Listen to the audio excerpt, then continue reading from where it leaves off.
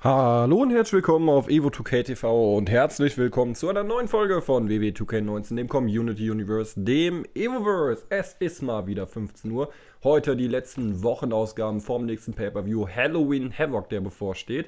Und ja, ich freue mich auf jeden Fall drauf. Kann wieder sagen, ich bin für diese Matchcard morgen nicht verantwortlich. Da habe ich den den, äh, ja, jemanden für beauftragt, der einfach in diese Rolle wirklich perfekt reinpasst, der einfach wirklich da eine ordentliche Matchcard zaubern wird. Sein Gimmick hat auch ein bisschen was damit zu tun, aber auf jeden Fall, äh, wie das aussieht, werden wir erst morgen sehen. Jetzt schauen wir erstmal, was uns hier heute bei Raw erwartet. Auch an dieser Stelle mal der Hinweis, wer Interesse hat, hier mitzumachen mit seinem erstellten Charakter, dann schaut euch mal das Video in der Videobeschreibung an. Dort findet ihr alle Informationen, die ihr wissen müsst. Kommt am besten auf meinem Discord-Server vorbei. Dort seht ihr dann den Channel-Prüfungsverfahren, abgelehnt, angenommen.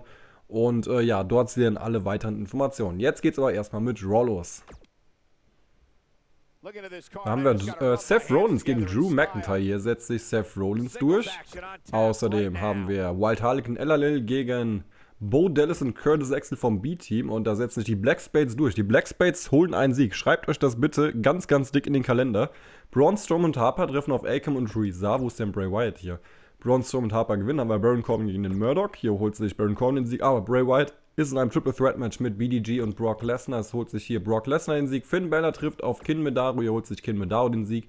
Und im Main Event sehen wir Dean Ambrose gegen Delta Demon in, begleitet von Evo 2K, Mark Barrett und Hergy, also die komplette EWO am Start. Und es holt sich hier. Äh, Ah, Dean Ambrose den Sieg. Ich dachte gerade irgendwie, das Spiel wäre abgestürzt. Alles klar. Also Dean Ambrose gewinnt gegen Delta. Kann nicht sein. Das muss ein Bug sein. So, was haben wir in den News drinstehen? Drew McIntyre hat seine Absichten deutsch gemacht, indem er vor Beginn des Matches Seth Rollins überfallen hat. Er möchte seinen Gegner verletzen, wird ihn angreifen, wenn er es am wenigsten erwartet. Dann, achso, Power Ranking, falsch. Einmal Rivalitäten. Und ich habe jetzt übrigens die Rivalitäten unten ausgestellt. Also ich warte darauf, dass ihr mir eure Rivalitäten mitteilt im Discord. Bis jetzt hat mich noch keiner deswegen kontaktiert und ich sage auch nochmal an dieser Stelle, Rivalitäten dürfen nur die Leute haben, die keine Champion sind, weil wer nämlich Champion ist, der hat nämlich sowieso im Normalfall zwei Ingame-Monate Matchzeit, weil wir immer das Championship-Match haben und dann noch, wenn er den Titel verlieren sollte, das Rematch. Also von daher Championship Matches sind von Rivalitäten ausgeschlossen. Also wie gesagt, das, was ich gesagt habe, zum Beispiel, dass ihr euch am Ende darauf einigt, dass es ein Hair vs. Hair Match oder sowas gibt. Weil Sinn und Zweck der Sache ist natürlich, dass die Leute mal unter der Woche oder während den Wochenshows overgebracht werden, die eben, ja, ähm, keinen Titel haben und auch dadurch nicht im Rampenlicht stehen. Jetzt gehen wir mal hier Achso, wir müssen noch die Championship Rankings zeigen, okay. Also da haben wir noch Brock Lesnar am BDG vorbei. Ich bin an Drew McIntyre vorbei, obwohl ich immer ein Match hatte. Ähm, Baron Corbin ist an K-Dog vorbei. Bobby Root und Chad Gable an den äh, Office of Pain vorbei. Das ist auch mal erstaunlich, dass im Tag Team Ranking mal was passiert. Ich bin ja hellauf begeistert. Gucken, was heute so bei SmackDown passiert. SmackDown Live und wir starten hier mit einer Rivalitätssache und zwar, äh, weil ja Iceman hat ja eine Rivalität mit Ace Mountain und ähm, da habe ich mir gedacht, hey komm, ich lasse das einfach mal direkt so, wie es hier ist. Vielleicht kommt da ja was Cooles bei raus. Kevin Miller trifft heute auf den Iceman, von daher passt das Ganze. Die haben wir auch schon ein bisschen nicht mehr gesehen und dann schauen wir mal, wer sich am Ende durchsetzt und ob Ace Mountain das Match eingreifen wird. So, und da kommt wohl die Attacke von Ace Mountain gegen den Iceman. Und ich glaube, da können wir uns sicher sein, dass wir Konsequenzen auch in Bezug zur Black Invasion haben. Und jetzt kommen da Offizielle beziehungsweise zwei Offiziellen halten den Ace Mountain zurück. Und er sagt wohl, er ist noch nicht fertig mit ihm. Jetzt bin ich mal gespannt, ob das Match überhaupt noch stattfinden wird. Ja, scheint es. Kevin Miller geht jetzt raus, der auch schon da war. Na, gucken wir mal, ob er das ausnutzen kann hier gegen den Iceman. Der Iceman direkt mit dem Reversal und schleudert Kevin Miller zurück in den Ring. So, wenn jetzt noch der Ringrichter dazu kommt, dann können wir uns das Match jetzt anschauen. Boshafte Attacke gegen den Iceman.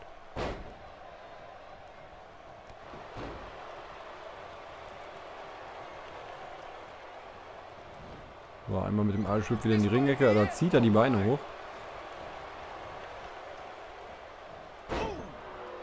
So, Pinfall. Aber Kickout bei 1. Und die Clothesline.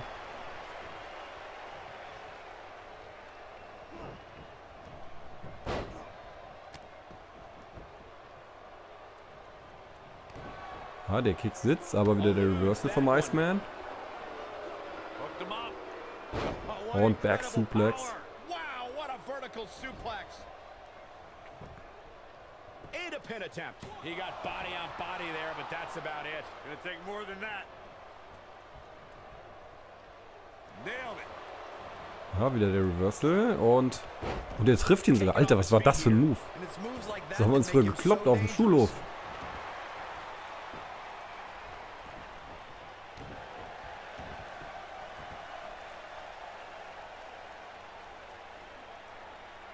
Da hält er aber lange fest.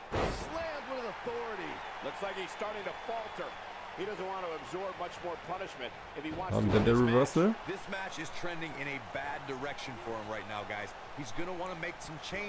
Und ja, der Power Slam mit Unterstützung von der Ringecke.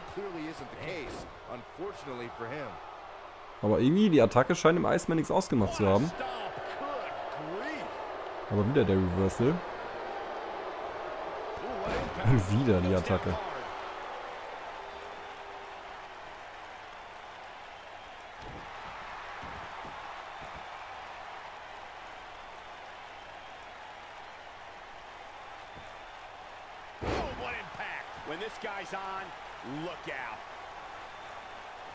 So, Miller jetzt.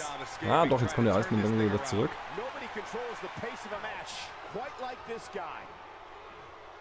Und ich glaube, das ist jetzt schon hier dieser DDT. Ich weiß nicht, ob das sein Signature und sein Finish scheint sein Signature jetzt zu sein. Aber trotzdem, der Tritt war jetzt eigentlich wieder nicht so schlau von der KI. Kevin Miller kommt auch raus.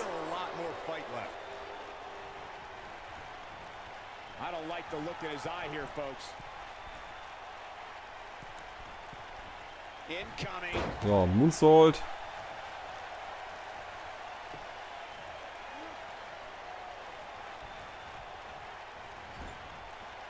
These guys are giving it absolutely everything they've got. Oh, jetzt schmeißt er ihn raus. Und jetzt gibt es wieder diesen wunderbaren DDT. Inspiriert von Sami Zayn. Aber wieder der Reversal.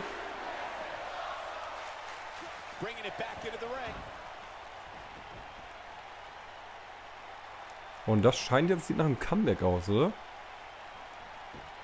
Ne, erstmal der Pinfall. Er hat schon nur wieder feiern lassen. Eins. Ja, Kickout bei eins. Das sehen wir jetzt, ob es noch ein Comeback gibt. Ja. ja überlässt sich von der KI, dass die, obwohl die ein Comeback hier aktivieren, dass die dann nochmal einen Pinfall vorher zeigen.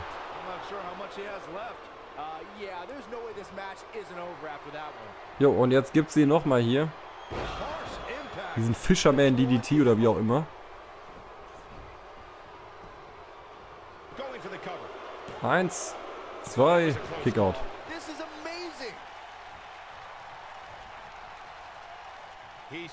Und jetzt soll er wohl kommen, der Finisher.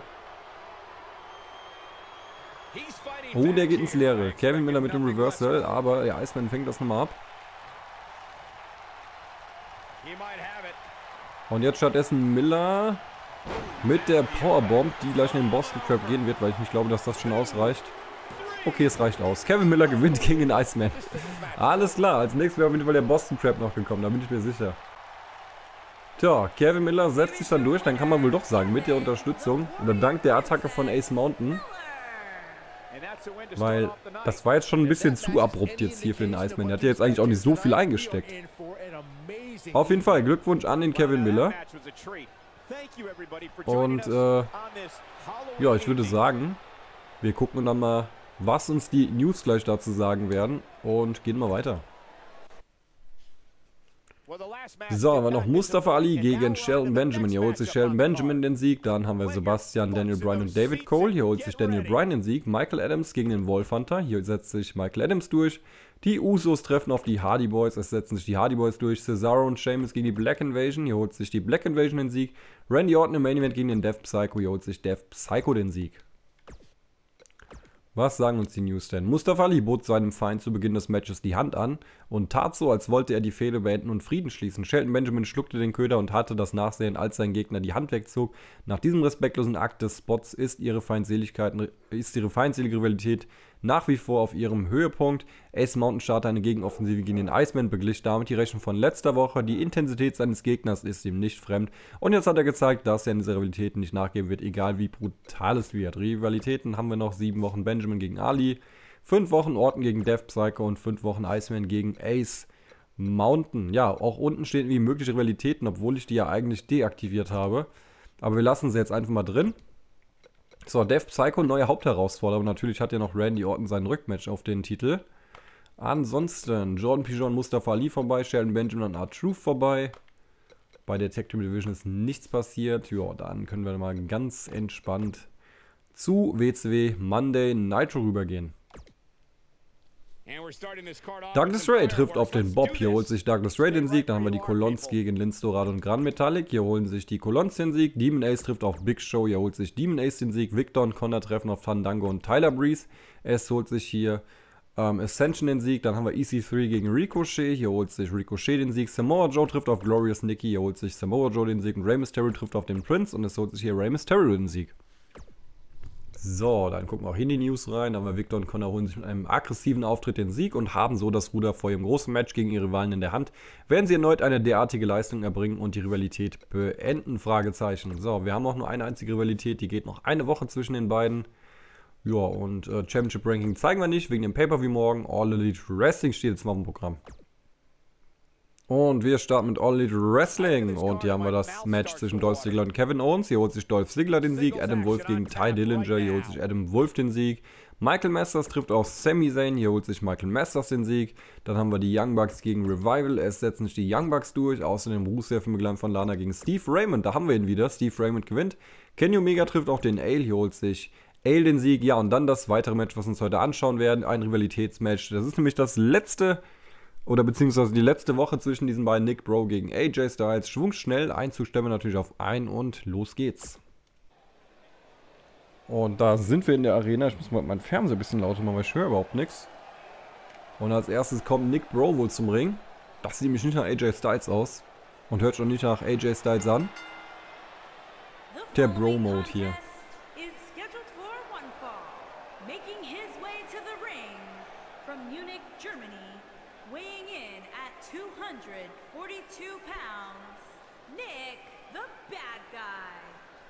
Nick the Bad Guy. Also, auf jeden Fall das letzte Match in dieser Rivalität zwischen diesen beiden.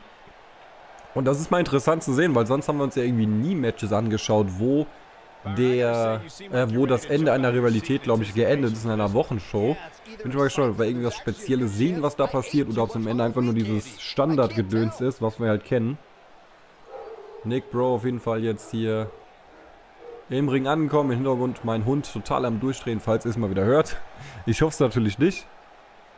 So, Bro. Bro. Na gut, dann warten wir mal auf AJ Styles. Und äh, schauen mal. Ich bin gespannt, was wir für eine Matchqualität. Ich glaube, das letzte, was wir gesehen hatten zwischen den beiden, da hat ja tatsächlich Nick Bro gegen AJ Styles gewonnen. Kann mich jetzt aber auch täuschen, aber ich, das ist eigentlich so meine letzte, äh, mein letzter Standpunkt, den ich dazu hatte. Oder so, was ich im Gedächtnis drin habe. AJ Styles auf jeden Fall. Mal wieder mit seinem Outfit. Es wurde mich kritisiert, dass das Outfit schrecklich wäre, was er hatte. Dass das nicht Gold wäre, sondern Hautfarben. Und vor allem das Schöne ist natürlich jetzt, dass AJ Styles die Kapuze wieder aus hat.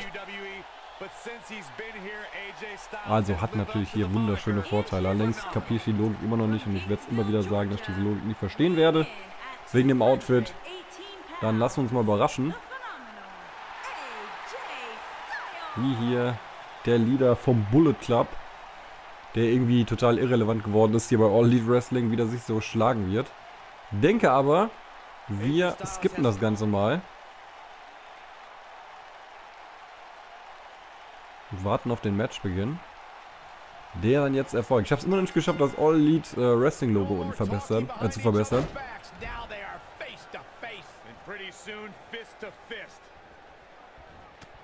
Ja, der Reversal von Bro.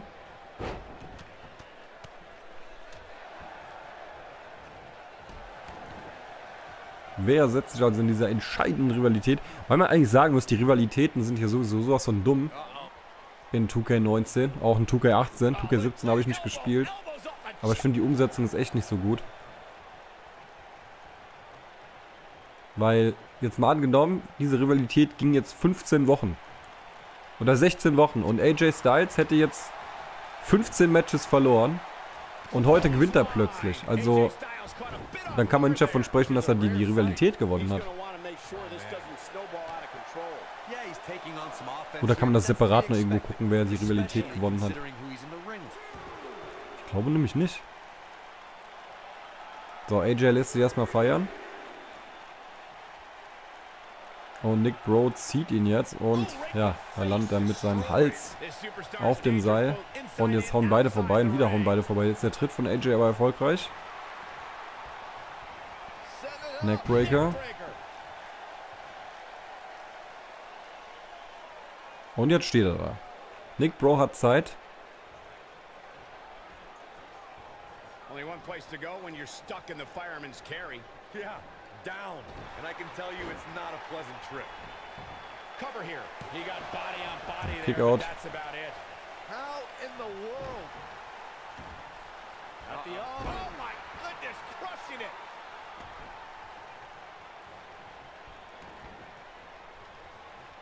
Fist drop. AJ Styles beginning to breathe a little heavier now. He came into this match looking for a fight, and it looks like he found one. That confidence he had on his face at the start of this match sure has disappeared, and with good reason. He's taken quite a beating. Ja, AJ hat irgendwie echt Probleme gegen Nick Bro. Here he goes. Und jetzt gibt es den Kick und nochmal ins Gesicht. Das war wohl der Signature. Und jetzt schauen wir, ob das schon eine Entscheidung ist. Eins, zwei. Ne, AJ kommt raus. Aber sein Finisher sollte er noch haben.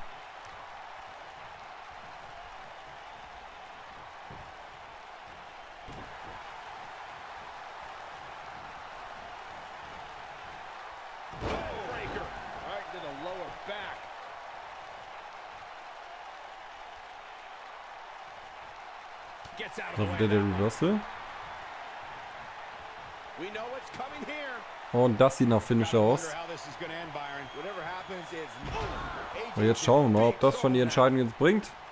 Pinfall. Eins, zwei. Ne, AJ kommt nochmal raus. Also Signature und Finisher abgewendet von ihm. Not so fast. Up in the fireman's carry. Into a sidewalk slam. Wow. So, und AJ, jetzt wird's wohl das Comeback kommen. Oh, Oder doch nicht. Oh rolling. Oh, das kommt jetzt doch. Und wieder diese lästige KI. Die zeigen nochmal vorher einen Move und erst dann wird hier das Comeback durchgezogen. Pele Kick.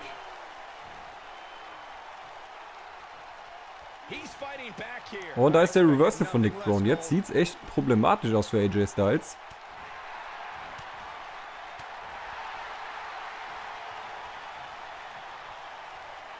Und wieder der Reversal von AJ. Oder beziehungsweise diesmal der Reversal von AJ. It wasn't even eight months in AJ Styles' WWE career when he defeated Dean Ambrose in the main event of Backlash to become Jetzt wieder der Reversal von Bro. champion. It was a big end to the first SmackDown Live exclusive pay-per-view, but I personally thought that AJ's low blow before the Styles Clash put a damper on the pageantry. Look at this. Ja, und der geht mal wieder schief. Der Sprung nach draußen. When AJ starts this stuff, I kind of lose interest. Und wieder AJ. Da stellt schon weiter weg, da passiert sowas auch nicht.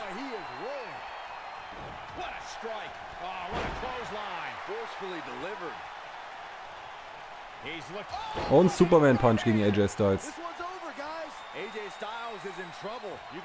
Reicht das? Pinfall. Eins, zwei. Too many other guys AJ wieder mit dem Kickout. Nick. Bro kann es nicht glauben.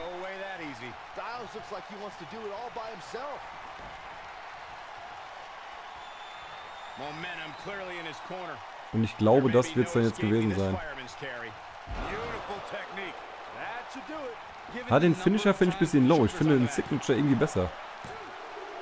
Jo, und Nick Bro kann dann wohl von sich behaupten, dass er diese Rivalität gegen AJ Styles gewonnen hat. Herzlichen Glückwunsch dazu. Das muss man erstmal nachmachen. Und da sehen wir ihn noch, wie er sich feiern lässt. Und AJ Styles, der Geschlagene, zieht von dann. Die Feier geht weiter, steht da. Oh nein, nein, nein, nein, nein. Anscheinend passiert hier doch nochmal was. Da ein Abschiedsgeschenk oder was? Jetzt geht die Zerstörung von AJ Styles komplett los. Ja, da hat sich der Nick Bro jetzt aber keine Freunde mitgemacht mit dieser Schlussaktion. Na gut, dann gehen wir mal weiter. Da haben wir in den News ein paar Sachen stehen. Nick Bro hat sein großes Match gegen AJ Styles gewonnen. Die Menge war enttäuscht vom Ergebnis, nachdem er in den vergangenen Wochen derart übertrieben hatte, gönnt ihm das Publikum den Sieg nicht. Ich würde auch sagen, wegen der Aktion zum Schluss. Matt und Nick Jackson haben ihre ein, ihren eigenen Konterangriff gegen Scott Dawson und Dash Wilder gestartet. MSTO Luchador startet eine Gegenoffensive gegen Ty Dillinger und beglich damit die Rechnung von letzter Woche. Die Intensität seines Gegners ist ihm nicht fremd und jetzt hat er gezeigt, dass er in dieser Rivalität nicht nachgeben wird, egal wie brutal es wird. Rivalitäten haben wir dann noch hier. Ähm, eine Woche MSTO Luchador gegen Ty Dillinger. Das wäre dann auch erledigt. Und zehn Wochen Revival gegen die Young Bucks. Championship Ranking zeigen wir dann selbstverständlich auch, aber da gibt es anscheinend heute keine Veränderung. Zumindest hier beim All Elite Wrestling Intercontinental Gürtel, da ist Adam Wolf an Jacob Cass vorbei und Goldust an Ty Dillinger vorbei. Aber Goldust sieht man überhaupt nicht, oder? Also ich kann mich nicht daran erinnern, dass wir jemals mal Goldust gesehen haben. Na gut, dann gehen wir mal zu NXT rüber. Roderick Strong trifft auf den El Maestro. Hier El Maestro den Sieg. Shayna Baszler gegen Kairi Sane. Hier holt sich Shayna Baszler den Sieg. Johnny Gargano gegen Big Ending. Hier holt sich Big Ending den Sieg. Lars Sullivan gegen den Devil of Joker. Da gewinnt der Devil of Joker. Leonard und Elrickson gegen die Street Profits. Hier holen sich Leonard und Elrickson den Sieg. Außerdem Nike Striker Adam Cole, X-King Tobias Crazy, Crazy Virgin im Fatal 4 Match. Hier holt sich der Nike Striker den Sieg und im Main Event wieder ein Fatal 4 Match mit Dave Vader, Xubix, Scott Stone und dem Janis und er holt sich Dave Weder den Sieg. So, was soll in den News stehen? Eine sagt, die Probleme zwischen Eriksson und Lennart sind weiterhin deutlich sichtbar und waren in diesem Match einfach zu viel. Ihre Niederlage sorgt für zusätzliche Spannung zwischen ihnen und die Menge ist bereit für den großen Knall. Realitäten haben wir sechs Wochen Rickson gegen Lennart, ansonsten drei mögliche. Streitet euch, vielleicht geht hier noch was, bevor wir das Ganze zurücksetzen. Hier ist ein bisschen was passiert. Lennart, Lennart an Xubix vorbei, Eriksson an Gargano vorbei. Devil of Joker und Crazy Virgil vorbei. Big Ending hat Plätze gut gemacht. Dafür sind Lars Sullivan, Dan Madison, Alistair Black, Adam Cole und Predator abgestürzt. Und ja, dann bei den Frauen keine Veränderung, bei den Tag Teams keine Veränderung. Gehen wir nochmal zum Schluss zu Main Event und schauen, was da noch passiert. So, dann wir El Mysterio Luchadore, Delta Demon, Nike Striker. Hier holt sich Nike Striker den Sieg. Murdoch gegen Michael Masters. Es holt sich Murdoch den Sieg. Dann Jordan gegen Dave Weder, da holt sich Jordan den Sieg. David Cole gegen Steve Raymond, hier holt sich Steve Raymond den Sieg. Hallel und der Harlequin gegen Black Dragon und Dark Magic. Es holt sich die Black Invasion den Sieg. Scorpion gegen den Iceman. Da holt sich der Scorpion den Sieg. Und Mark Barrett gegen Storm. Hier holt sich Mark Barrett den Sieg. Ja, Leute, und damit sind wir am Ende der heutigen Folge angekommen. Es gibt kein Power Ranking, da die Ingame-Woche noch nicht beendet ist. Morgen dann um 15 Uhr eine neue Folge Halloween Havoc. Wenn es euch heute gefallen hat, dann lasst dem Video doch mal einen Daumen nach oben da. Schreibt gerne wieder in die Kommentare, was ihr gut fandet, was ihr schlecht fandet. Joint auch gerne meinem Discord-Server. Der Link dazu in der Videobeschreibung, wo auch meine Social-Media-Accounts verlinkt sind. Facebook, Twitter, Instagram, Snapchat und der Link zu meinem Twitch-Kanal. Ansonsten, ja, würde ich mich dort über jedes Follow freuen, was ihr mir da lassen würdet. Natürlich auch auf YouTube, hier auf meinem YouTube-Channel jeden Tag, äh, jeden Tag um 15 Uhr eine neue Folge vom Community Universe. Außerdem noch diverse ältere WWE 2K19 Projekte, falls ihr daran noch Interesse habt und auch mal ein bisschen FIFA oder NHL. Also mein Kanal ist eigentlich relativ vielseitig. Ich würde mich auf jeden Fall freuen, wenn ihr Teil meiner Community werdet, wir diesen Weg gemeinsam bestreiten werden. Bin dann jetzt an dieser Stelle raus, wünsche euch allen noch einen schönen Tag, lasst es euch gut gehen, bis zum nächsten Video, macht's gut und ciao.